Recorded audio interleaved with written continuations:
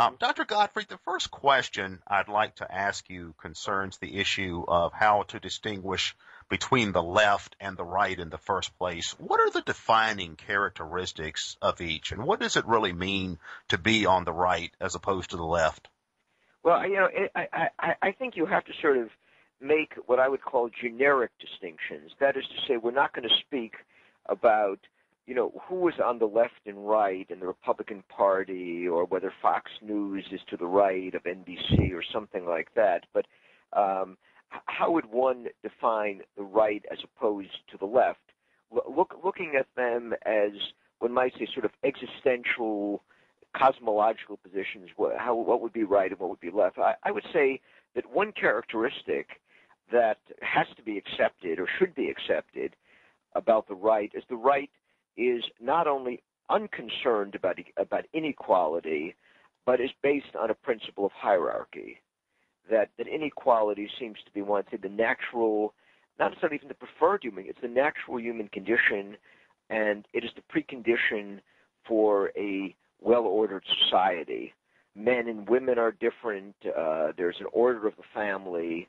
In European societies for a long time, of course, you had aristocracies, but things like class differences would not be of concern to the right uh, as long as they are seen to serve the greater social good. The left, on the other hand, uh, believes in the idea of equality, not political equality, social equality, uh, and then in its multicultural forms, of course, the equality of all cultures, and not the equality of all cultures, but might say the the superiority of non-Western cultures, because the Western Western society is seen uh, as almost sort of uniquely guilty uh, of imposing inequality on the rest of the world.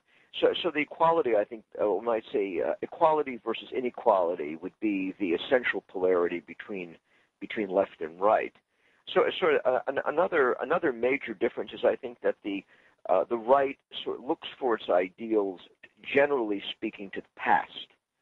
It does not look upon the past as a prolonged period of oppression, evil, it looks upon the past as the source of the ideals uh, by which people are to be living in the present. The left is always is always very much pointed toward the future and sees itself as reconstructing uh, the past. It always has a kind of reconstructionist project that aims uh, at the achievement of greater equality.